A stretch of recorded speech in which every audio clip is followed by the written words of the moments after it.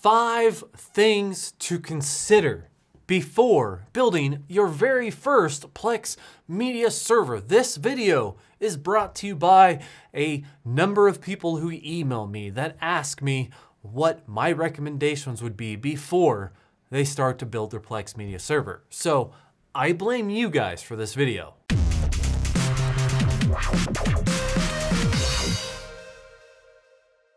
As always, this video is brought to you by Plex as part of a monthly Plex sponsorship. So thank you, Plex, very much for sponsoring my channel. What's up, YouTube? Jason here with Byte My Bits. First of all, yes, I blame you for this video, but I also kind of sort of apologize because I just don't have the time to respond to everybody's single needs. And there are so many variables when it comes to building your first Plex media server that it's hard to give one set answer. I mean, you can spend thousands of dollars on your Plex media server, or you can spend hundreds of dollars on your Plex media server. It really just kind of depends on what your needs are. So these are five different things that you should consider before you build your first Plex media server. The first thing that I think that you should consider when building a new server is your primary SSD. Now, I'm not talking about your operating system SSD, although it could be shared with that. Instead, I am talking about the SSD that you are going to be installing Plex to,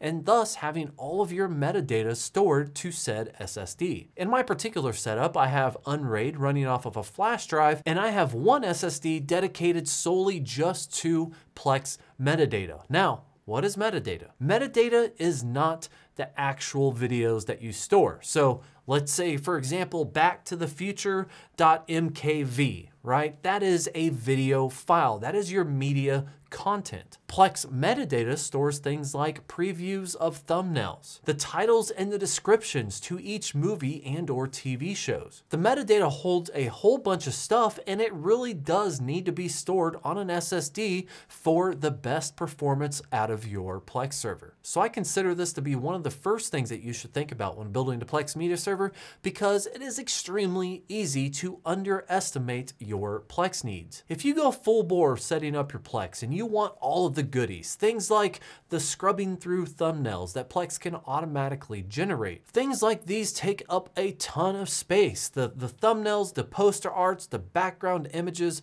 all of that is stored on your Plex media data folder. So if you're somebody who plans on having, I don't know, two, three, four, five, six, whatever, thousand movies on your Plex media server and you buy an 80 or 120, you know, gigabyte SSD, you're gonna have a bad time. I'm just throwing that out here. And while I don't actually disclose how big my media collection is, I will say that my Plex SSD is about 280 gigabytes. That's just the data itself, not the size of the SSD. I actually have a 500 gig SSD in there, but I've had to upgrade that SSD from an old 250 because I ran out of space. So if you buy something too small, you can quickly outgrow it. Next thing you know, you're spending more money to get a bigger SSD, and then you have a tiny SSD left over. It's not necessarily a bad thing because extra SSDs are always a great thing to have. I'm just Throwing that out there. And along this lines, if you want to run Plex off of an SSD,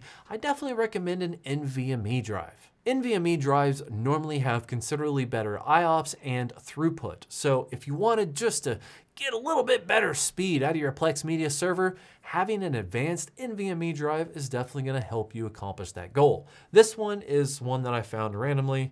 It's a 970 Pro 512 gigabytes. So this really would be great for my needs, and I would imagine it'd be just fine for yours as well. Actually, where did this thing come from? I have no idea. Anyway, number two, mass storage slash operating system because they kind of both tie in together. The way I look at it is this. You have three main options, and there's a ton of options out there for Plex media server, but I'm breaking it down to the very root three primary options that you can consider when setting up your Plex media server. Each one of these options are gonna come with their own different storage, you know, pros and cons. So the first step, the easiest step and the most common starting ground to a lot of people who are just getting into this Microsoft Windows. I started out with Microsoft Windows. In fact, I started out with Microsoft Windows with a JBOD setup. JBOD is just a bunch of disks. That's literally, I had like drive A, B, C, D, E, F, G, you know, I had all these drives and it was a terrible setup. But for the longest time, it worked because you know, I was broke and I was just kind of adding drives as I could. And then I'd add another portion to the library and, you know, it is what it is. Sure, you can set up software RAID in Windows. It's definitely an option. If you have the drives to do that, then hey, more power to you. Setting up a Windows Plex media server is probably one of the simplest things you can do. You don't have to focus on permissions. You can just assign a drive. Windows makes building RAIDs easy. I mean, it is definitely a very simple thing to do. But at the end of the day, you're gonna take a huge performance hit, not only on probably the performance of your hard drive speed themselves, but also the overhead that you're going to be using just running Windows. Plus, software updates can be a pain in the butt. That's a whole nother story. My second option and my personal favorite, Unraid. Now, Unraid offers kind of a unique experience when it comes to hard drive storage expansion. Unraid is exactly what it sounds like. It is the opposite of a RAID, aka Unraid. Now with Unraid, you're essentially taking the concept of JBOD, where ju just a bunch of disk, and you're giving it a spare parity drive to kind of sort of just say, hey, what should be on one of these drives if it fails? The benefit here is that if you're starting on a budget, you can afford one or two really nice drives and you want to start your Unraid array, then you can easily expand it as you go. This is what I did because I could not afford to throw in 30 hard drives all at once. Instead, I went through a period of like shucking Western Digital external drives and adding storage as the need arose.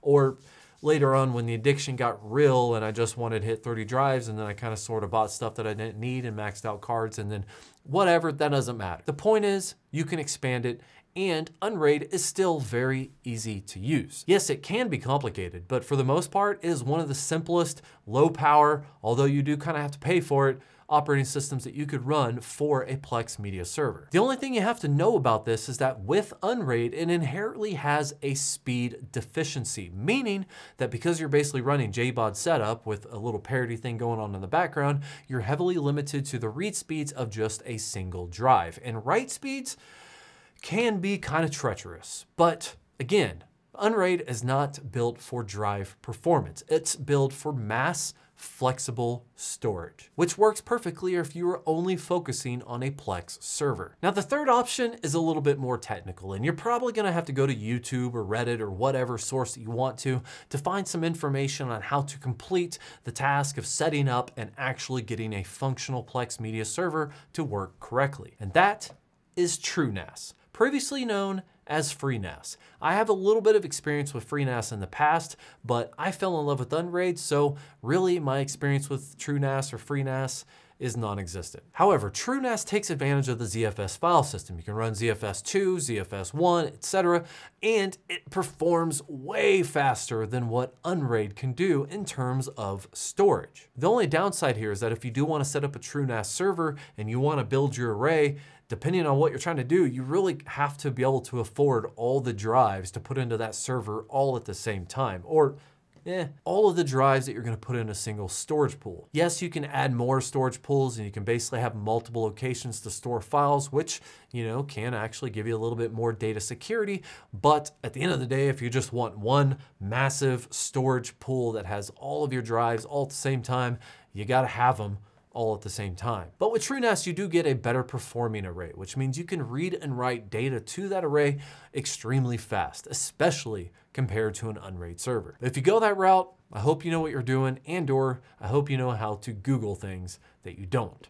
Number trace, or for you Spanish impaired, three. The form factor of your new Plex media server could be of major consideration for any kind of future expandability. What I mean by that is that if you buy a case specifically to hold something like five or 10 hard drives or whatever it is you think you might need and you want to expand later on down the line, it's going to go right back to the whole argument with the SSD. Meaning that if you run out of space, you're going to have to run out and buy a new case to expand your array. So for example, things like Unraid can handle up to 30 hard drives in a single array. But if you only have something that can hold 10 drives, and you want to take advantage of that 11 slot, you're either going to have to get really creative or just buy something new. It's not necessarily a bad thing. Again, everybody loves spare parts hanging around their house, especially if they could recycle it for other builds.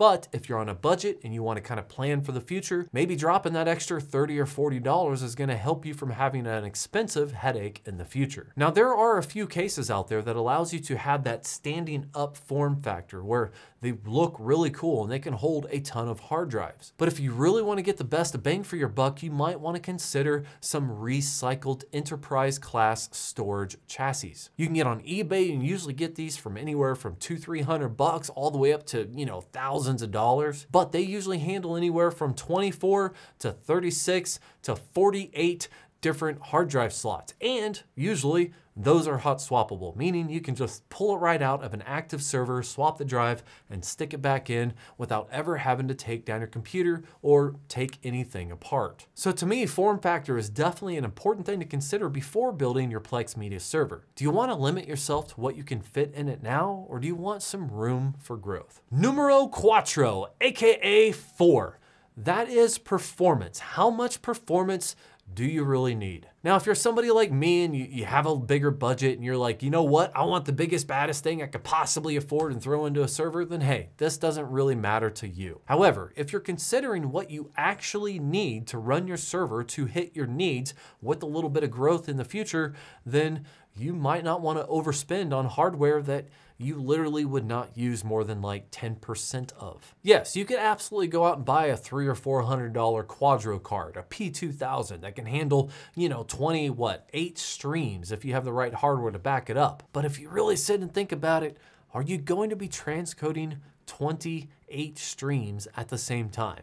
I mean, really, Personally, I only use anywhere between two to five streams all at the same time. So 28 streams, although I could do much more with what I have in there now, I, I, just don't use it. So the first thing you're really gonna wanna focus on is your CPU, specifically one that has built-in graphics. So if you go with something like an Intel chip that has Intel Quick Sync or HD graphics built into it, you're already gonna be able to use hardware accelerated transcoding and you could have a CPU that could literally give you 10 or 15 transcoded streams at the same time without breaking much of a sweat. So you got you, you got your parents, you got your brothers, you got your cousins, you got your friends. What are you like five, six, seven, eight different streams at the same time on a CPU that's really barely flexing itself and you never even had to buy a graphics card that's a win. If you're trying to turn yourself into your own Netflix, then yeah, sure, go balls to the wall, spend all the money you want to, that's fine. But if you're just looking for something that's gonna give you good performance, be able to skip through videos without any kind of major delay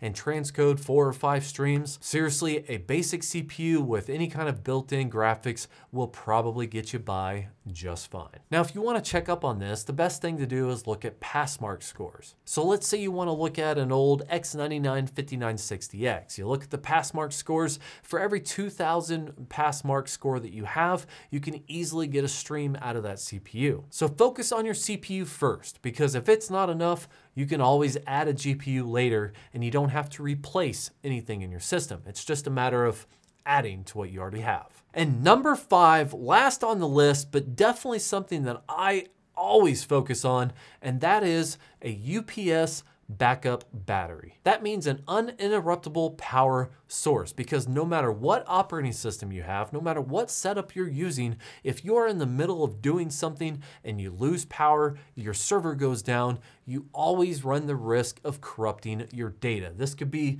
the actual media that you're trying to play, which is extremely rare, but hey, it's still possible, or the Plex database, the Plex metadata, things like that. These can be corrupt your power goes out, all of a sudden Plex won't work. Your SSD's messed up, your storage is messed up, everything is just hitting the fan and you don't know what to do. Why? Because you lost power at the worst possible time and now you gotta rebuild all of your software side of your Plex media server. So even if you get a small UPS that would be able to only power your server for maybe five or 10 minutes, it could still save you hours of time rebuilding your Plex media server internally just because you didn't have any way to back up your power. I personally have used CyberPower backup UPSs for a very long time. I've used anything from the very small ones that really are just five, 10 minute running, all the way up to the very large ones that I have in my rack mount that can power it for anywhere from 45 minutes to an hour and a half. Or, you know, if you're rich, you can get a Tesla Powerwall, but hey, I, I'm not rich, so you know, more power to you if you can. And even though I said five, I just had something come to mind when it comes to live TV. Uh, so, you know, not six, but hey, honorable mention. Consider what you want for local TV programming. If you want to watch things like local news, maybe locally broadcasted sports, you might want to consider getting an external TV antenna with an HDHomeRun TV tuner. That allows you to tune in, add live TV and a DVR functionality to your Plex media server. I guess this, you know, video could be called top six things, but you know, six is just not as catchy as five for some reason. Well, that's it for today, guys. If you have your own special considerations that you feel are important, make sure to leave those in the comments down below. As always, thank you for watching, like and subscribe, and have yourself a great day. Seriously, I don't know what this was used in. I mean, it's a 970 Pro. This is a good SSD. I feel like I could use this in something, but I don't know what. On the other hand, 500 gigs for any kind of real world uses, like on a main workstation, for example, kind of limited.